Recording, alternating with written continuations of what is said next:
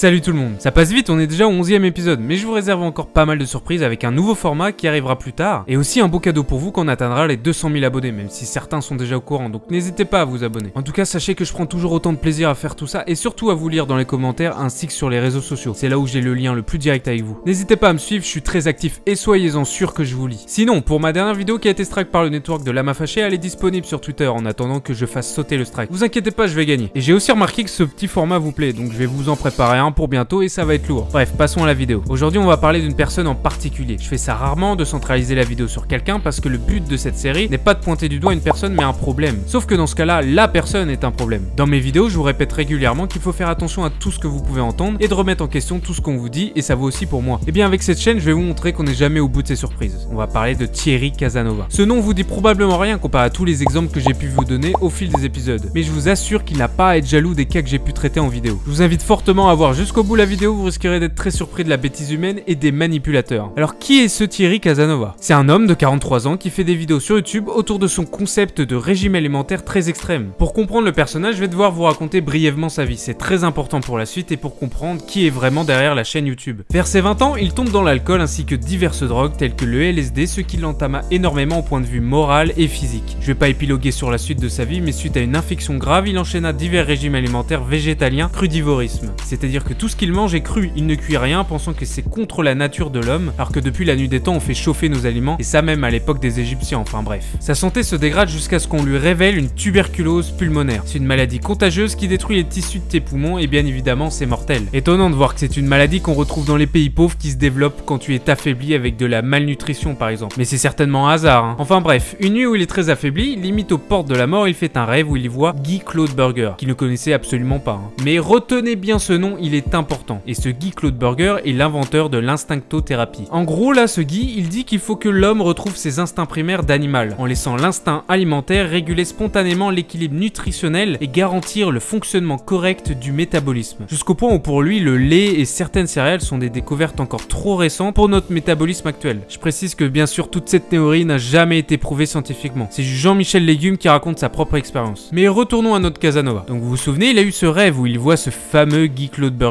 Au réveil, il prit son vélo, alors que précisons, il était au bord de la mort avec, je cite, une trentaine de kilos ainsi qu'une tuberculose bien entamée. Il fit donc quelques kilomètres pour voir ses amis dans le même délire que lui pour lui demander s'ils avaient pas le livre de ce Guy. Bien entendu, s'enchaîne une folle histoire d'amour pour cette pratique d'instinctothérapie et de crudivorisme et lui-même. Vous devinez bien qu'il commença cette pratique et reprit toutes ses forces petit à petit. Il commença les vidéos pour partager son amour pour cette méthode plutôt radicale de ne jamais rien cuire et de se faire un maximum de jus de tout, ainsi que d'être très spirituel parlant même de Jésus. Mais avant de continuer et comprendre là où je veux en venir avec cette vidéo, parlons de ce fameux Guy Claude Burger. En 1960, à 26 ans, on lui trouve un cancer qui est traité par chirurgie et radiothérapie. Il commence à développer sa théorie de l'instinctothérapie et bien entendu, il fait en sorte de laisser croire que c'est grâce à ça qu'il guérit de son cancer. Mais passons à son casier judiciaire parce qu'il est très loin d'être innocent. Il avait déjà été condamné en 1958 à un an de sursis pour attentat à la pudeur sur enfant. Puis en 1978, il est condamné à 4 ans de prison en Suisse pour avoir abusé de son fils et d'une fille de 9 ans. D'ailleurs, son fils a aussi été arrêté plus tard pour pédophilie. Une sacrée famille. Enfin bref, il lui est interdit de pratiquer l'instinctothérapie en France. En 1995, son organisation est dénoncée comme secte. Il est condamné en décembre 2001 à 15 ans de réclusion criminelle pour viol sur mineur de 15 ans. Pour lui, le but de la sexualité humaine ne se résume pas à la reproduction et au plaisir. Il pense qu'une sexualité en accord avec l'instinct, sans respecter les schémas dictés par la société, notamment sur les relations adultes et enfants, permettrait de résoudre de nombreux maux de la société et de développer des facultés extrasensorielles comme la voyance et la télépathie. Pour vous la faire simple, avoir des rapports sexuels avec des enfants te donnerait des pouvoirs magiques. Pendant son procès, il s'est justifié en disant Il était difficile de parler de leur sexualité sans en faire l'expérience. Les enfants ont des pulsions et je pense qu'il faut laisser venir les enfants vers l'adulte quand ils le demandent. Je voulais vérifier si les pulsions étaient programmées génétiquement et quel était le but de l'instinct sexuel. Voilà donc qui est ce Guy Claude Burger, le mentor de Thierry Casanova, un pédophile et un médecin autoproclamé. Et vous pouvez vérifier par vous-même en regardant la description, plutôt flippant. Mais intéressons-nous plus en détail à ce Casanova. Suite à sa guérison miraculeuse avec ses jus de fruits, il développa un site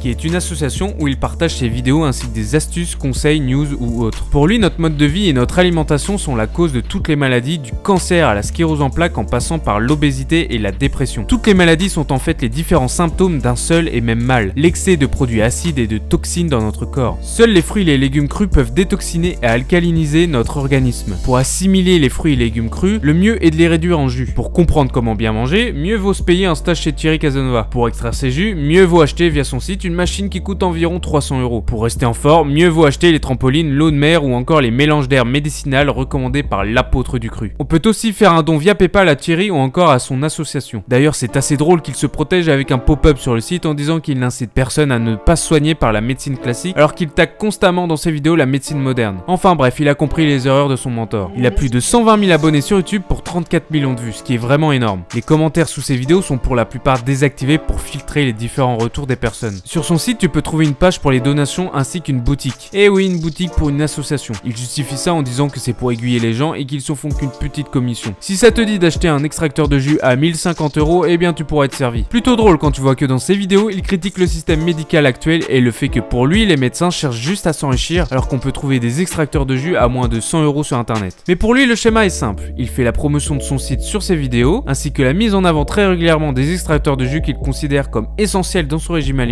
ainsi que toute la panoplie du parfait Casanova. Vous achetez tout ça en boutique, lui il encaisse, simple comme bonjour. Dans ses vidéos qui sont en général plutôt longues, il traite de différents sujets et en parle d'un ton très sûr de lui et affirmant que quasiment tout peut se résoudre grâce aux fruits et légumes crus, et que notre corps peut de lui-même tout guérir. Par exemple, il préconise pour les cancers des périodes sur 21 jours de jeûne pour combattre la maladie, et que c'est certainement plus efficace que toute chimiothérapie. En théorie, cela peut marcher, en effet, les cellules cancéreuses ont besoin d'environ 8 fois plus de nutriments qu'une cellule normale, donc s'il y a plus de nutriments, elle meurt. Mais en parallèle à une chimiothérapie, certaines personnes sont tellement certaines qu'il est la voie de la raison qu'ils arrêtent leur chimiothérapie, alors que c'est tellement incertain et délicat qu'il faut faire plus qu'attention quand on se lance dans ce genre de choses. Mais ça, il n'en parle même pas. Le problème avec ce Casanova, c'est qu'il se place pour une sorte de grand génie de la médecine naturelle et est très condescendant, voire virulent face à la médecine classique. Avec ses discours plutôt bien foutus, il arrive à persuader que tout ce qu'il dit est la bonne chose. Il dit pas que des conneries, loin de là, mais comment dissocier les conneries des bons conseils? On parle en général de personnes avec une santé fragile ainsi qu'une forte envie de se purifier spirituellement, ayant marre de manger que de la merde, ce qui est très dangereux. Et c'est pas tout, en me promenant sur les forums de leur site, quelqu'un demandait que fallait-il faire pour la sexualité, disant que les moyens de contraception comme la pilule par exemple sont plutôt dangereux, etc. Et les gens conseillaient de regarder ces périodes d'ovulation ou encore de simplement se retirer pour le gars quand il faut. Ou même encore que le sida s'attrape qu'aux personnes très malades de base, à comprendre les gens qui mangent très mal. Enfin bref, en regardant de plus près son énorme communauté, on voit d'énormes conneries à tout va. Son délire de promouvoir que ses jus de fruits et de légumes n'est pas une mauvaise chose, c'est très bon pour la santé, mais lui pense qu'il faut uniquement cela pour correctement vivre, alors que ça devrait être ajouté à une alimentation équilibrée. Je suis tombé sur les témoignages d'une femme qui a testé son régime alimentaire. Regardez les photos parle d'elle-même, sachant qu'elle perdait aussi ses cheveux et a mis énormément de temps pour remonter la pente. Mais si comme moi vous êtes choqué par tout ce que vous pouvez entendre, on peut faire bouger les choses. Comme avec l'affaire YouTube Pédo, je vais vous expliquer, c'est très simple. Déjà pour commencer, vous pouvez partager la vidéo, surtout si vous connaissez des personnes qui pourraient suivre son contenu. Puis vous allez sur le site de dérive-secte.gouv.fr qui est le site pour signaler les différentes sectes parce que si on se réfère à la définition d'une secte, ils rentrent parfaitement dedans, notamment dans les points de la déstabilisation mentale, des exigences financières exorbitantes ou encore l'atteinte à l'intégrité physique. Donc sur ce site, vous cliquez sur nous contacter et ensuite sur informer la Mivilude d'une dérive sectaire. Vous avez juste à expliquer pourquoi vous le pensez dangereux. Vous pouvez aussi signaler ces vidéos pour spam ou contenu trop peur et pour escroquerie. Si on s'y mit tous, on pourrait certainement lui mettre des bâtons dans les roues et faire prendre conscience aux personnes suivant toutes ces directives de gourou que c'est un charlatan. On ne peut pas chiffrer le nombre de personnes suivant ce Casanova, mais on parle de milliers qui achètent ses stages et boivent les paroles de ce gourou sans aucun filtre. Certains sont tellement faibles physiquement que les conseils qu'il donne pourraient les faire mourir, comme avec l'exemple du jeune pour le cancer par exemple. Quand on voit de qui il s'est basé pour créer sa philosophie qui est un pédophile ou encore son délire de l'avoir vu dans ses rêves, on voit bien que ça tourne pas rond. Par cette vidéo, je voulais vous transmettre un message qui s'applique dans la vie de tous les jours. Faites attention à tout ce qu'on vous dit. Ne buvez pas toutes les paroles des gens. Et ça vaut même pour tout ce que je dis. Certaines personnes comme ce Casanova sont tellement certains de détenir la vérité qu'ils vont très loin dans les conneries et ça peut faire de très très gros dégâts comme la femme que je vous ai montré. Prenez les infos que vous trouvez intéressantes et faites votre propre avis. Mais évitez ce genre de charlatan qui peut s'avérer dangereux. Sur ce, je vous laisse. Merci d'avoir regardé et passez une bonne journée.